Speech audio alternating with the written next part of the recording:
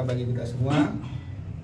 Eh, terima kasih kepada teman-teman media yang pada hari ini datang ke kantor kami Togar Situmurang Lofum Jakarta yang beralamat di Jalan Raya Peja- Jalan Pejaten Raya nomor 78 Pasar Minggu Jakarta Selatan Jakarta Selatan. Hari ini saya Dr. Kandidat Dario Situmorang SHMH CRA didampingi oleh sebelah kanan saya. Taufik Yudhistira SH sebelah kiri saya. Maliri Bangol SH Ya, ya. Pada kesempatan sore hari ini, ya kami ingin sedikit menyampaikan terkait adanya pemberitaan yang sekarang sedang beredar, ya, di mana eh, pada saat itu ada salah satu oknum bodyguard, ya, dari seorang artis. Pada saat itu dia mengawal, ya, di Polres Jakarta Selatan, ya, setelah dia uh, artis tersebut memberikan laporan ya di Polres Jakarta, uh, Jakarta Selatan. Ya uh, ternyata dari pihak uh, oknum atau bodyguard tersebut menyampaikan ya perkataan yang tidak uh, sopan ya yang tidak uh, baik ya. Dan juga itu menurut saya pribadi sudah menyangkut ya kekerasan ya secara verbal ya.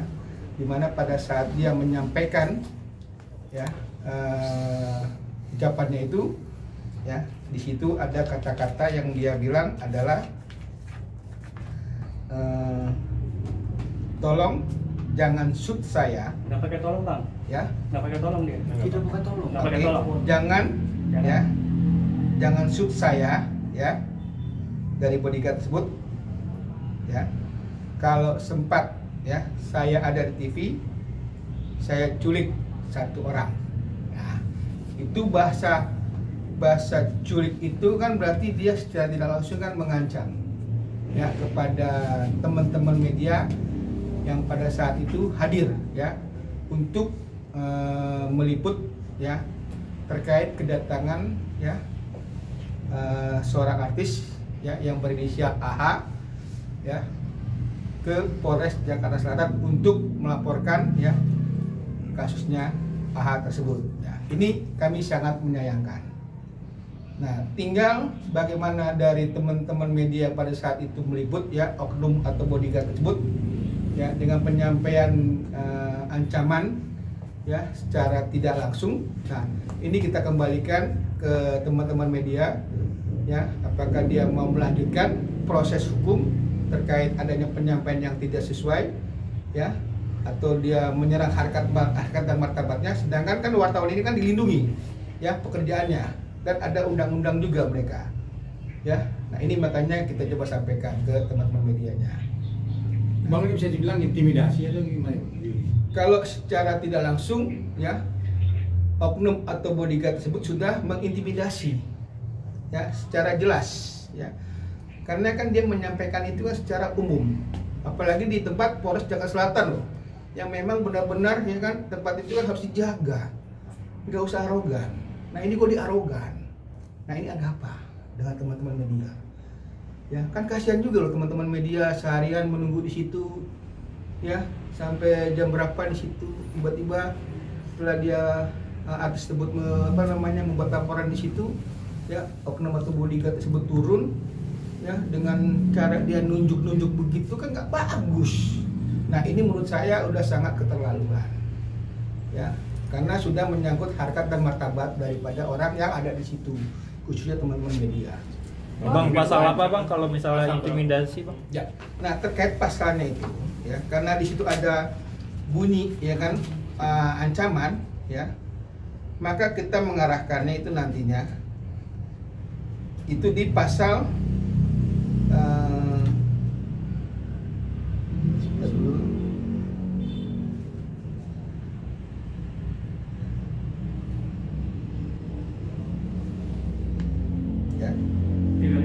di situ ada pasal yang memang harus disampaikan yaitu adanya perbuatan tidak menyenangkan.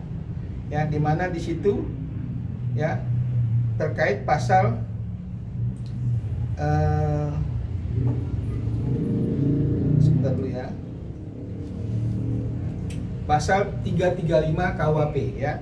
Di mana di situ di, di- di- disampaikan barang siapa secara melawan hukum ya memaksa orang lain supaya melakukan atau tidak melakukan atau membiarkan sesuatu dengan memakai memakai ke- kekerasan sesuatu perbuatan lain maupun perlakuan yang tak menyenangkan nih perlakuan yang tak menyenangkan atau dengan memakai ancaman kekerasan ya sesuatu perbuatan lain maupun perlakuan yang lain menyebabkan ya baik terhadap orang itu sendiri maupun orang lain nah ini nggak nyaman. Nah itu dia bisa dipidana ya dengan hukuman penjara selama satu tahun.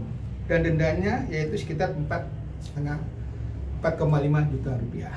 Nah ini pasal yang diterapkan di KUHP 335 Bang, si A aja bisa diminta tanggung jawab, pertanggung jawaban nggak sih bang? Ya, nah terkait kembali ini ya eh, artis tersebut ya, AHA ya, di mana kan dia tanda kutip kemungkinan juga pada saat itu memberikan tugas ya atau pekerjaan kepada bodyguardnya atau oknum tersebut ya, dia juga harusnya bisa apa ya melindungi dong kan gitu atau menjaga lah minimal ya. Tapi kok pada saat dia di situ malah dia kayaknya nggak terlalu ini leh mempedulikan malah dia jalan langsung. Ini kan sangat-sangat disayangkan juga menurut saya. Seharusnya dengan ada penyampaian yang yang tidak sopan dan tidak pantas ya oleh oknum atau bodyguard tersebut kepada teman-teman media pada saat itu meliput dia harusnya coba untuk eh, mengklarifikasi atau meminta maaf lah atas penyampaian disampaikan oleh ya eh, oknum atau bodyguardnya dia tersebut ya pada saat pada saat teman-teman menunggu ya artis tersebut ya setelah melakukan eh, atau membuat laporan dia di Polres Jakarta Selatan. Bang Atta sendiri bilang kalau orang tersebut bukan karya- karyawan nih bang. Ini abang melihatnya sebagai bentuk uh, pembelaan diri hanya seorang Atanya aja atau seperti apa bang? Nah, kembali lagi kalau memang dia dibilang bukan karyawannya, ngapain dia ada di situ? Ngapain dia ikut di situ? Dan untuk apa dia ada di situ? Ya, dan ini sangat disayangkan kalau ada penyampaian kayak gitu yang dia bilang katanya bukan karyawannya. Oke, kalau memang dia bukan karyawan, nanti dia siapa di situ? Kalau memang dia ditunjuk sebagai orang yang bekerja untuk mengawasi, berarti ada perjanjian antara mereka.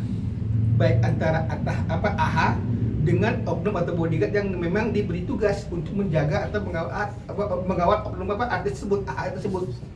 Nah ini kan malah jadi apa ya eh, melepas lah melepas tanggung jawab dia lah. Kan gitu ya yang seakan-akan eh, ya dia dia nggak mau nggak mau nggak tahu menahu kan gitu atau memang dia nggak mau tahu gitu loh dengan dengan apa namanya orang tersebut ya oknum tersebut ya yang bodyguard tersebut. Dan ini kan udah jelas kok oknum tersebut turun dari atas bersama si AHA tersebut ya. Dan di mana oknum bodyguard itu menunjuk begini loh. Ya nah ini ini ini ini apa namanya sangat sangat tidak apa ya tidak baik lah tidak bagus lah gitu. Sedangkan teman-teman media di sini kan dia punya undang-undang juga terkait dia untuk meliput seseorang kan nggak mungkin dia dia di situ datang begitu aja kan enggak ya ini sangat disayangkan gitu kan. Mungkin dia kurang mungkin dia kurang paham nih bang undang-undang pers sendiri. Mungkin abang bisa jelasin bang? Nah, terkait lagi kalau memang dia kurang paham undang-undang pers, ya kan?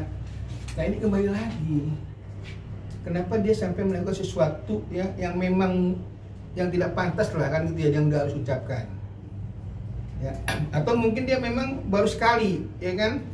mengawal mengawal artis tersebut. Tapi kan ini kan nggak mungkin juga ya. Sebelum dia apa namanya bekerja di apa di, di, di tempat tersebut ya kan di orang tersebut pasti kan dia akan menyampaikan. Gitu, ada telepon pondoknya gue usahakan Katanya katanya udah mecat kan apa minta maaf ke akun gosip.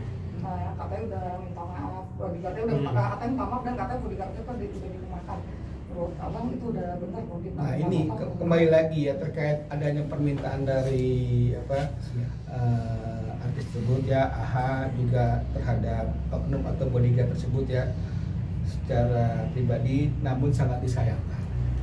Karena sehari peristiwanya tersebut kenapa dia baru ya meminta maaf. Dan ini kan berdampak apa ya sangat buruk nantinya kepada teman-teman media pada saat nanti dia meliput keesokan harinya apalagi dengan sesuka-sukanya dia seenak-enaknya dia mengintimidasi orang tanpa adanya apa ya penyampaian yang jelas. Ini kan nggak bagus juga nantinya untuk ya teman-teman media lah kan gitu. Mana tahu nanti teman-teman media juga merasa ketakutan dengan ada penyampaian begitu kan ngeri-ngeri sedap juga nantinya. Jangan sampai ada nanti intimidasi lagi yang yang sama dengan cara yang seperti itu. Kan nantinya ada pengulangan. Nah ini yang yang coba yang coba saya sampaikan jangan ada pembiaran nantinya ke depannya. Makanya kepada teman-teman media pada saat itu hadir atau ada di situ kalau memang mereka masih kurang nyaman atau memang atau memang mereka merasa uh, nama di nama nama baiknya di apa namanya di, di Intimidasi bang. diintimidasi ya kan? Nah mereka buat aja aduan atau laporan langsung. Gitu loh.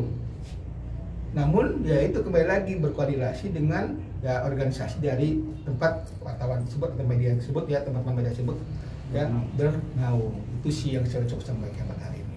Oke, Bang, terkait tanpa- permohonan maafnya gimana bang? Nah, Yang bersangkutan sudah meminta maaf. ya permohonan maaf dia bagaimana? Kan gitu televisi. Kalau dia permohonan maaf, maaf itu secara apa namanya eh, TikTok ya kan? Atau lewat eh, media yang lain ya sosial. Nah ini kan sangat sayang juga kenapa dia kagak memperlakukan sesuatu itu sama pada saat dia datang juga ke Polres Jakarta Selatan di situ dia harus minta maaf kan gitu awalnya dari mana dari Polres Jakarta Selatan kan dia menyampaikan apa namanya adanya pengancaman tersebut Nah, kalau dia maaf setelah peristiwa itu terjadi kan itu sayang, sangat disayangkan. Kenapa baru setelah kejadian tersebut baru keesokannya dia minta maaf? Itu. Nah ini bagaimana dengan teman-teman pada saat itu yang hadir? Kan kasihan juga. Tiba-tiba pada saat itu dia yang di situ juga merasa nggak nyaman, dia pulang tiba-tiba, ya kan? Mau lihat orang takut karena ada ancaman kayak gitu, jangankan bunyi motor suara tokek di rumah aja dia takut. Ya kan? Nah ini kita sayangkan karena yang kayak gitu-gitu kan bikin apa ya orang jadi nakut jadi takutnya. Apalagi dengan adanya tadi yang saya bilang itu ya kan saya akan culik satu orang itu kan gitu kan lucu kalau misalnya nama apa saya sendiri ada apa saya ada TV kan gitu itu maksud apa gitu. Oh, iya, bang tanpa laporan polisi sebenarnya bisa nggak sih polisi langsung bergerak bang ini delik umum atau delik aduan Nah kalau kalau kalau untuk melaporkan kan seharusnya secara korbannya sendiri. Nah korbannya siapa? Atau orang yang merasa dicemarkan nama baik itu siapa? Nggak bisa polisi kan yang melaporkan. Harusnya korban tersebut yang memang merasa yang memang mereka ya, yang memang merasa dia nggak nyaman atas penyampaian dari oknum atau bodyguard tersebut. Karena kan ini delik aduan. Ya, nah ini makanya kalau bisa sih ya dengan ada penyampaian kayak gitu kembali lagi pada saat teman-teman media yang, yang hadir di situ untuk meliput eh, artis tersebut ya AHA di situ ya kan? Nah tinggal ya gimana ininya aja mereka kan itu baiknya. Apakah mau dilanjutin atau memang dia ya diam aja gitu loh dengan beri- dengan seribu bahasa. Kasihan Oh iya buat pendapat. Ini langsung aja kalau bisa secara live ya kan? Atau ketemu langsung dengan teman-teman media yang pada saat itu hadir meliput, nah itu lebih bagus, ya lebih sopan, ya dan lebih bertanggung jawab. Itu saja yang bisa saya sampaikan pada kesempatan hari hari ini, ya salam sehat buat kita semuanya. betul bang Oke.